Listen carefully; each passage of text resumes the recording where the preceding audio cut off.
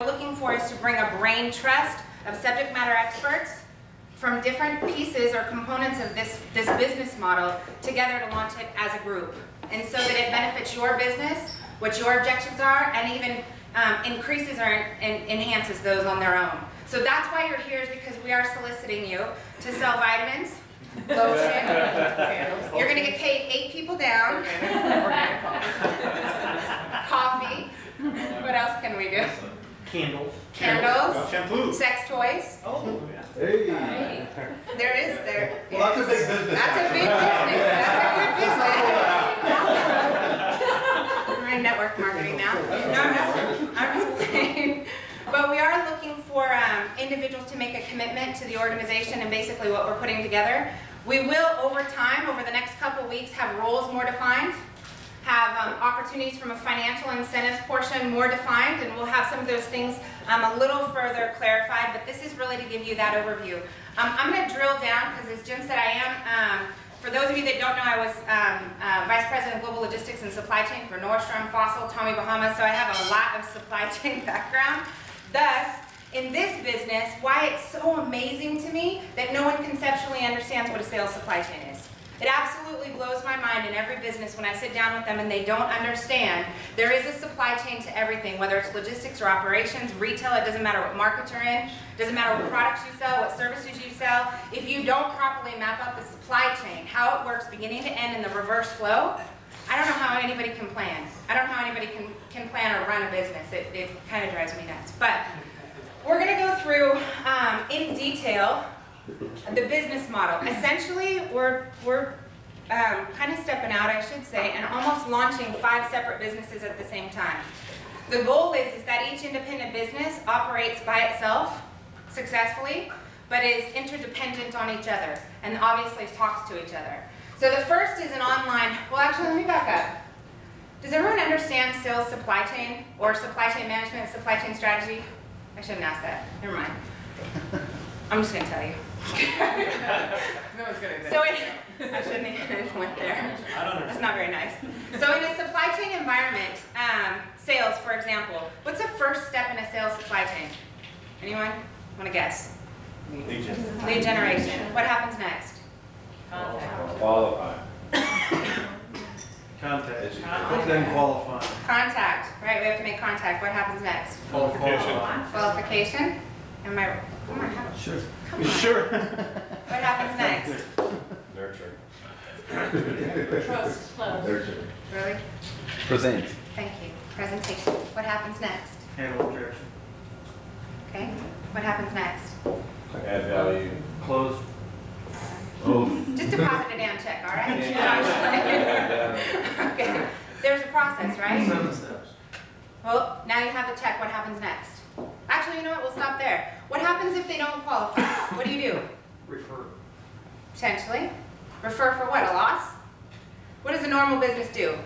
Not qualified, they put them in the CRM, they go through the process. How long does it take to go through the process? From lead gen, so just give me an estimate. From lead generation, all the way through the qualification process, only to not qualify. How long is that process? Wow. Four hours, a month? How long? You guys have benchmarks? Anything from a month to years. It could be months, it could be years, depending on, right, depending on price point, depending on if it's a consultative sale, a product sale, a service sale, and so forth. So it can be months to years. What's the cost to the organization? It's a lot? So when you lose business, is it expensive? Yes. It's very expensive. So that's where Jim was saying, that supply chain process is broken. That gap right there, where you're losing business because of non-qualified leads, how many of you would like to refer them out to somewhere else and get paid at least something for rerouting them to a different vendor?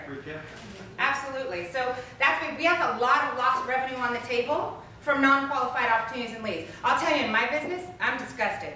I'm constantly irritated because I'm really good at generating leads. Really good at it. We book a lot of speaking events. We have a ton of leads that come off the internet and social media and all these lead generation things. And I have a CRM, Ken uses uh, me as an example all the time, that is flooded with stuff. Some of them qualify, some of them don't. Some of them don't have enough budget, some want stuff we don't want to do, we don't want to touch, and so forth. So I've gone into the process of trying to figure out who our strategic partners are in order to refer them out, but it's still haphazard. And it's time consuming. You just went through the process to try and sell and close a deal, you lost the deal. So how much more time do you want to put into it to try and pick the vendor, requalify, and put them through another process? Versus if you could outsource that. So that's another po- component is where is that revenue and how can we get some of that revenue back as a company? All right, so we'll continue the sales process because we went through to close. Close qualify one, deposit the check, close qualify lost. We don't deposit the check, we just have a loss, a, a big loss on our records, right? What happens after that? Current customer? What do we need to do? Gain a referral out of the current customer. Absolutely, and how do we do that? Ask. Them. Ask them, how do we do that? Quality work. Quality of work, okay, so service level expectations, service evaluations, what else? Survey after the sale. Surveys after the sale, absolutely, what else? How do you stay top of mind to get one? Drip campaign. Potentially drip campaigns, what else? So the, the main point is you have to stay in contact, right? Mm-hmm. So how do you stay in contact? Take a system. You just really go in the support area? That's an IT guy. We gotta have like. You know what? I have an IT guy that actually plays a sales role in our support system, which I love, so I'm not gonna disqualify that, that is a piece of the supply chain. What else? Well, st- Strategic follow-up. Strategic follow-up, absolutely. So you have face-to-face, Continue to web, search, value. social, email marketing, training, education, and keep going, right? Right. These are all the things. As our database grows, our number one source of new business should come from who? Or existing customers. Existing customers, absolutely. When someone's in the buying mode and you're in the prospecting time and you're going through that, is that a good time to generate referrals? Think about when you're buying a house. They're talking to everybody about hardwood floors versus carpet versus shag versus wallpaper versus this versus that. It's a great time to generate referrals during that process too. So way up front in the lead gen, you have a whole nother component of the supply chain that often gets ignored, which is during the prospecting time, yes? Okay, so continue. So referral generation, absolutely. That's the supply chain, is being able to map it beginning to end. Now, if I was gonna break it out into lead generation, lead generation is technically a category. Inside lead generation, how do we, how do we subcategorize those? How do you generate leads? Anything from personal appearance to web to. Web, direct mail, Right. to Tickle. Right. search, social, media gift offer to. pay per click, everything, right? That's part of the supply chain. Each component has to, every high level piece of the supply chain, you have to be able to drill down and determine. Do you think everybody performs well in all of them? Okay, all right, so that's essentially what a supply chain is. Would it be beneficial to be able to actually see it? When you start a business, most businesses haven't even mapped that, which I don't understand how they operate without it. It- It's, it's shocking to me. The amount of gaps and efficiencies, duplicate processes, holes in their business model and so forth from not having at least a clear picture of what should I have or what should I do. That's a really big deal. So, Jennifer, next let me, let me add something there, to Yes. add an extra point. please.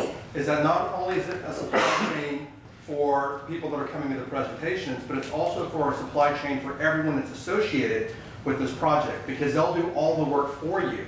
You simply, you go speak, they take care of the consumer advocacy, and then the qualified referrals. So they're managing the entire process like they're managing part of your business for you anyway. And a lot of us, I mean, I'm gonna be candid, I'm not great at some things when it comes to my own supply chain. Some things I don't like to do. So they'll handle that for us. That's a really big point. You know, um, actually, Andre, I think it was us. Weren't we having a conversation recently and the discussion was, I can either try and force feed people to learn and understand sales, sales process, right? So the challenge is like, we're attending a 16 week, 16 weeks? A 16 week course with um, Capacity Company. And the interesting part of this course is, if you look at an iceberg and you have this tipping that's out of the water, that's what people usually train on. But what they're doing in their program, Jim, you do this in your program, I know, Scott, same here, is they're training in here. They're training under, un, in the invisible portion, of what's under the water, what's deep, what's in our core, what's in our roots, and how we interact, right? Most people have a really hard time following. Most people can't get to that place internally. They can't figure out where that is. They can't adjust it. They can't manipulate it. That's beating, yes? So if we can't adjust people from the core, if it's very difficult to, if our percentage of people that are going to go through it and come out right where you want them is small, why do it? Not, I shouldn't say why do it like give up. However, give them an alternative, which is what you're saying. If we have people who already master and already know that process inside and out, make it available. Does that make sense? Is to make that available. So that's what you're saying, yes. So I, so I hope I'm not gonna tilt what you're doing. All right, tilt it, Because you know that I think you're awesome. All of this stuff is amazing. However, the one thing that you said is you're great at generating leads. Yes. And if I could be so bold, I would venture to say that nobody else in this room is great at generating leads. And through the entire um, sales supply chain, Mhm, the biggest hurdle of all companies, especially startups, mhm. are generating quality leads. Yes. And as a group, I think we should focus on that part and all of the rest will fall into play. Now, I'm, I've been in sales all my life, so when people talk to me about, well, the sales process and everything, I'm like, I, I get that. I just can't get in front of enough people. So if we can get in front of enough people, and again, I'm You sorry didn't tilt I'm- it. This I'm is a perfect introduction. to me, Next, it- it is the entire, I I was at a two-day seminar for all of the uh, IT companies, you know, in the country, were all at this seminar. And they all talked about the sales process and service delivery and this and that, and the entire problem. And I walked around and I asked 20 people, how are you generating leads? What is the magic key to generating quality leads? Nobody could answer that question. So Got it. I mean, that is the key. And I think that this, when I heard about this from Jennifer two weeks ago, to me, this was like the perfect quality program to generate leads. So, anyway, sorry. Well, Jen, just start back then and go to the very beginning and walk them from speaker to end. Absolutely. That's the best way to. Walk them through it. Absolutely. So let me start off first with digital, because obviously, right now, digital marketing, as far as lead generation, is a really big deal, right? Social media, search engine optimization, digital blogging, content, mastering information, and so forth. One of the challenges with speakers is, a lot of times, they speak and their only product is education, is information. Right now, are we in a position where, are we in a position to sell information? Anybody know what Harvard's doing right now? Three classes. No, all their classes are free online. You can take any class you want for free online. You don't get a certificate, but you can take the class online for free. Is information free today? Yes. It is. No matter what, information is free, education is free, anything you want is online, anything you want to learn is online. So we have to be very careful.